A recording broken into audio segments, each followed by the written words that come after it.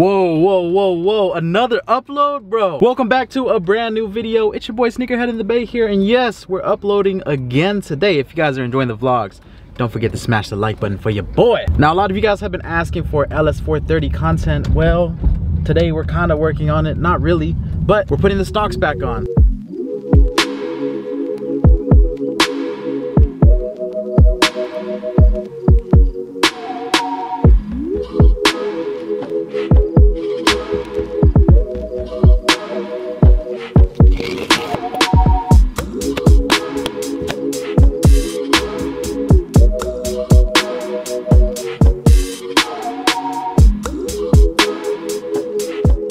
All right guys, you're probably wondering why I'm putting my stock wheels back on my LS430. So next week, I'm gonna be doing a road trip to LA. So I figured, you know what, let's throw these stocks on since I have them. I usually end up selling these, but I ended up keeping the stocks for this car. Let's swap out the weds, just because I don't wanna ruin these on the way there. The roads out there in LA are just terrible, so I don't wanna mess these up. And plus, I barely rode on these, so I might as well just put the miles on this. So we're gonna be doing a light project today, just switching the wheels. I also have a couple problems with my fronts, so I'll talk about that in a little bit. But let's throw these rears on real quick and swap these out.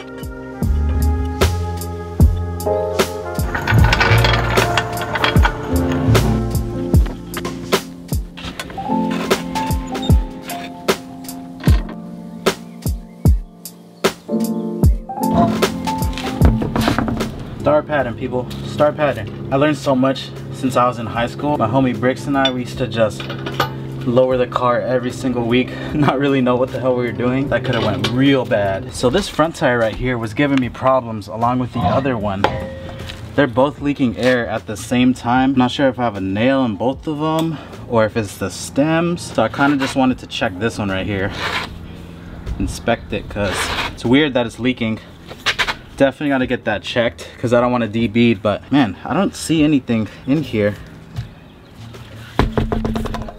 let me know what you guys think. Why are both of my fronts leaking at the same time? Pretty sure if I sprayed it with water and soap, I could figure out where it's leaking, but I don't have time for that today, so that's gonna be a project for another day.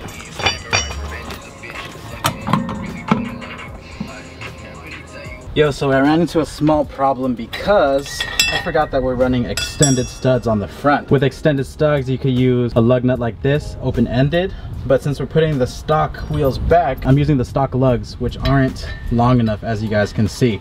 So when i put the wheel on there there's too much play right here and it makes it wobbly. So gave my homie a call. He just said throw a spacer in it bro. Throw a fatter spacer and it'll be all good. So shout out to kwong. I wasn't even thinking of that.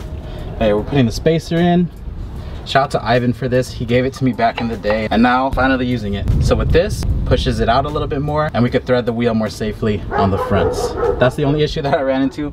Other than that, the other three are done. I'm gonna put these on and uh, call it a day for this. I think these have to be my favorite VIP wheels. And like I said, these fronts right here, they are leaking at the same rate. So I gotta go get that checked out sometime and I also need to freaking polish these things. After the fires and ash and all of that these things are looking musty bro. Comment down below if you guys want a tutorial video on how to polish these at home because when I posted on Instagram y'all were like yo how'd you do that? And here we go. Honestly not too bad with the stock wheels I get that OG VIP Japanese feel with it still especially with the 5% tint. And a lot of people ask me like yo Alex are you afraid of your 5% tint? Honestly I haven't had any issues with it. I've had it on basically all of my cars and I've never been pulled over for tint before. I've only been pulled over once and it was for speeding in the freaking Evo. But yeah, not too bad, not too bad. This setup right here should be super comfortable for the drive to LA. It's about five hours away, so it's a decent sized road trip.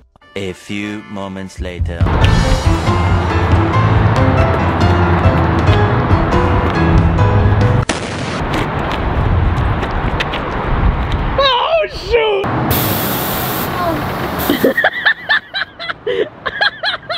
Hello, it's me.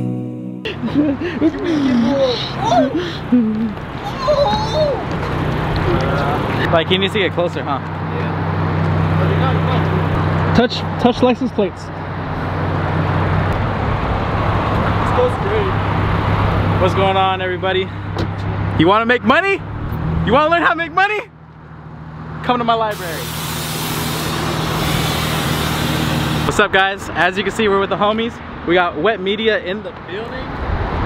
We got Ivan and his Lexus IS250. We got the infamous Tesla in the back. And who do we have behind the camera?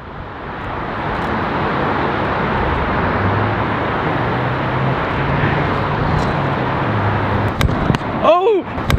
Oh! What's going on? David got kicks in the building.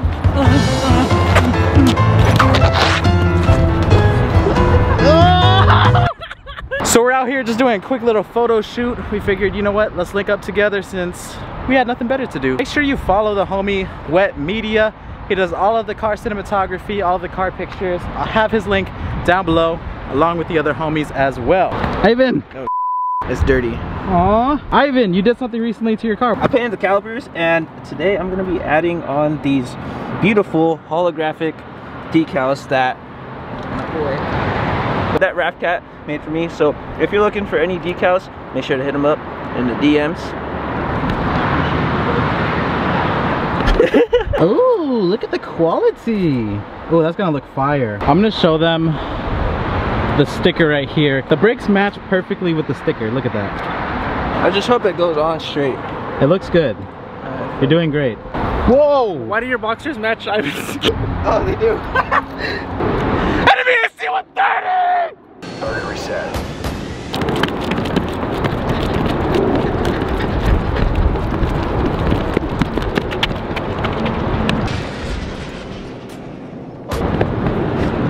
Where did they go? Enemy UAV online. Enemy UAV spotted. Ah, shit. Here we go again.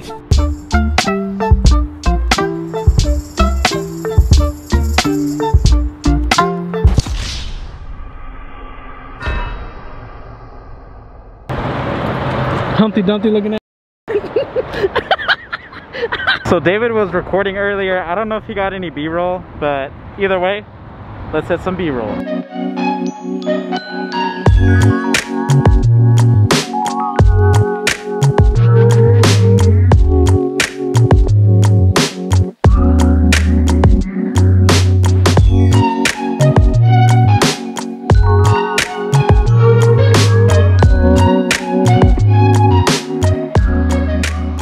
Got a little burrito right here, al pastor. Best meat ever. So beautiful. There's barely anybody out here. Ooh, all right guys. Go in for the first bite. It's all you. Can I go in for the first bite? Wow. Wow. It's lit. Blueberry, Burberry, butternup. Tan skin, mixed race, buttercup. Canada weather, got a bundle up. I'm tryna work, she hit my phone, she wanna. Whoa.